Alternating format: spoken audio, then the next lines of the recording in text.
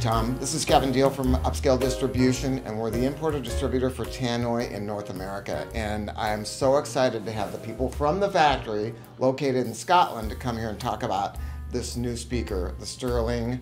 Well, how do you like to call it there? So we call this the Tannoy Stirling Triple LZ Special Edition. Um, which is Can a bit of a say that mouthful. slower so that Americans That's can why- understand Yeah, the so- Scottish accent?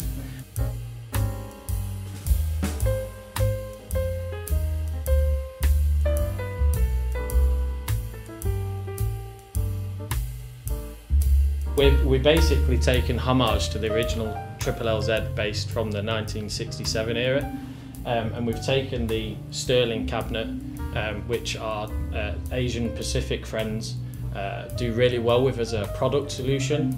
Um, they uh, have smaller homes but want the bigger, grander sort of size uh, performance of a speaker.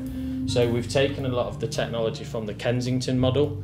Um, so they share, they share the same uh, Alnico uh, system, which uses the pepper pot. And that's the magnet system That's correct. within the main driver. Yeah, that's correct. So we're using the dual concentric with the Alnico pepper pot system, um, which is shared with the Kensington model, which is a couple of models up from this. Uh, and for those that don't know, Yeah. Alnico is voodoo. I mean, truly. I mean, it is magic. It is voodoo for the people that know about it. This model was being made for the Asian Pacific market originally when they were designing it because there's such a desire for it. Yeah.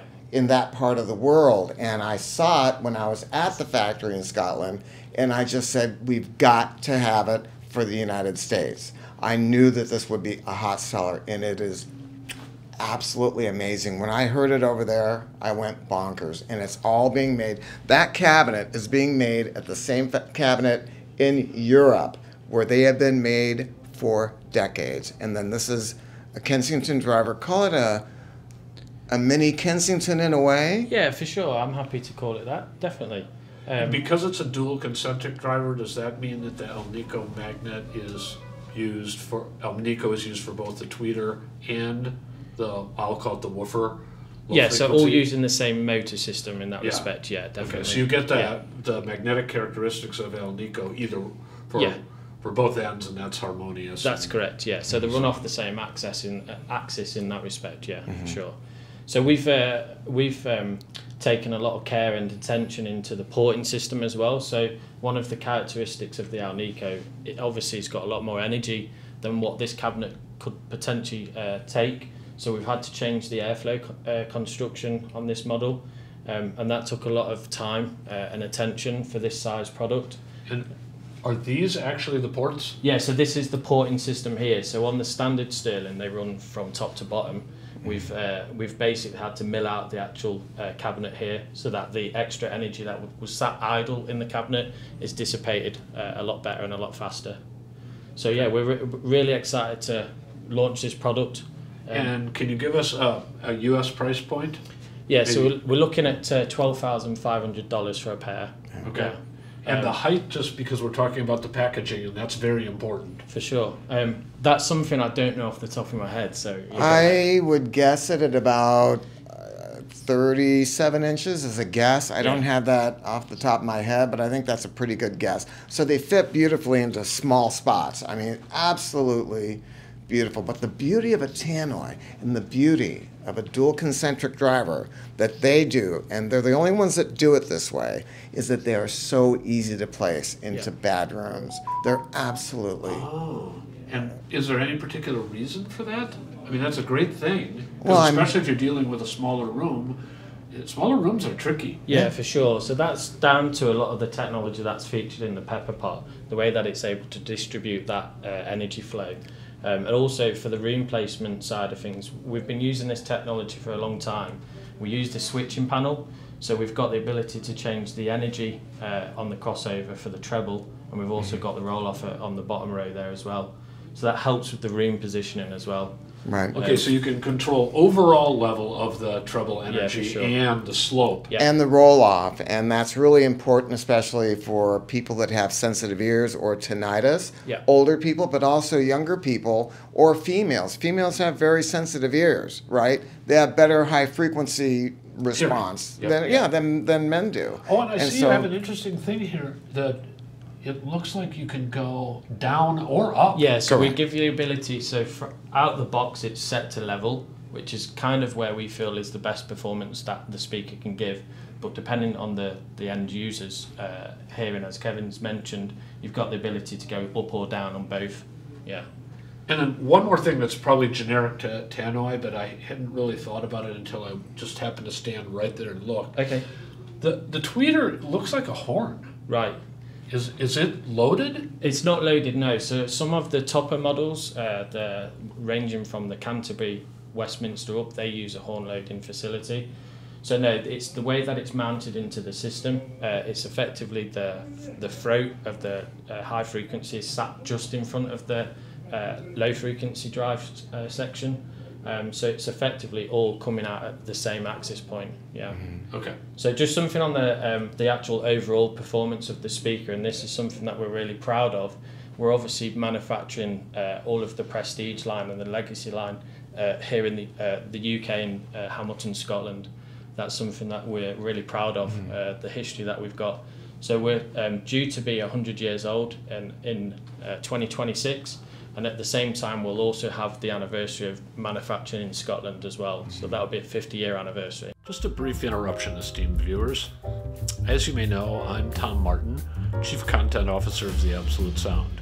We have a new product, it's on the Substack platform, and we're going to do some interesting things with Substack. First of which is reader questions and answers. Each Monday, readers will submit questions. We'll pick the most interesting ones and we'll answer the questions on Friday. We'll also have early access to articles and special blogs that don't appear anywhere else. We hope you'll join us. It's only a cost of a cup of coffee per month. Just check on the screen or in the show notes below. Thanks. And now back to the show. You'd have to be there to understand. When I was at the factory in Scotland, there was a tour bus from Japan there. Yeah. I, I, was shocked to see all these people rolling off of a bus because uh, for people, and I mean, they may work all their lives to buy a pair of Westminsters or Canterburys. I mean, it's what people aspire to, and that's why this is this is one of the very few brands. And there's another one. I mean, maybe some old Altecs, but Tannoy's an old Tannoy driver from the 1960s, just for a driver is going to be worth upwards of $5,000 for one. Go to eBay and you'll see, look up a Tannoy red. I, right now, I'm negotiating to buy some Tannoys from the 1960s that I found. And uh, I, I will pay dearly for them because I love them that much. Yeah, I it, as as it happens, I just had a discussion with a guy who's rebuilding a pair of Voice of the Theaters. Oh, wow. And is trying to source compression drivers because you have to do retrofits of Yeah, a sure. lot of those Yeah. parts, especially where the diaphragms, you know, surrounds and stuff like that are just they don't last forever. Yeah, for sure. And Altec is another one of those old brands that have got a following that makes the parts just so valuable. But there is no real Altec to buy today. Today you can buy a Tannoy. Do these and some of the other Tannoys have the characteristic that I have always associated with uh, an Asian preference, but it's actually really useful in uh, European and American domestic settings too, which is that they work at low levels. Yeah, for sure. I'd They say sound dynamic at low levels. It's a weird thing They to breathe. explain. Yeah. I'd Yeah. say that the voicing uh, for Tannoy, we use the same sonic signature across the whole portfolio. So we obviously the Westminster is our flagship, and we trickle that technology and that sound performance down through the ranges. Um, but the biggest benefit you've mentioned already is we use the compression driver system at the back of the uh, motor, and that's pushing a lot of air, and that that gives you the real dynamic uh, range of a Tannoy speaker, the most natural performance you can get. Yeah. Excellent. Yeah. Well, that's exciting. Yeah. I, I, I- I like the size. I hope you can proportion it with us somehow, Charles. Yep, I got it. It's half a human. Yeah. It is. You can put that in the spec Yeah, sheet. for sure. I do actually have the spec here if you need to edit that back. Oh, in, so okay. I can, uh, Yeah, cool. yeah, so um, we're looking uh, height wise, we're 33.7 inches. So Okay. yeah, Kevin was pretty spot on with that. Yeah. And depth? Uh, so the depth you're looking uh, 14.5 inches. Yeah. Okay. And that's Yeah. about the width too. Yeah, pretty So much. it's- yeah, it's pretty not- square. It's pretty square in that respect. Yeah. It's, it's not a small box, but it's compact in its front panel, which is kind of a nice combo. Yeah, for sure. Yeah. Okay. Yep. All and right. they're built to last a lifetime. Really. Yeah, the fact that you're using uh, a lot of differential materials in the wood uh, aspect, you've got real wood uh, on the outside there, pretty much built to be like a piece of furniture in the living room. So not just a, a nice piece of audio performance, you're getting a, something that's going to last in your home a long time. Um, and you, something that's not seen here as well, you've, we've got the oatmeal grill.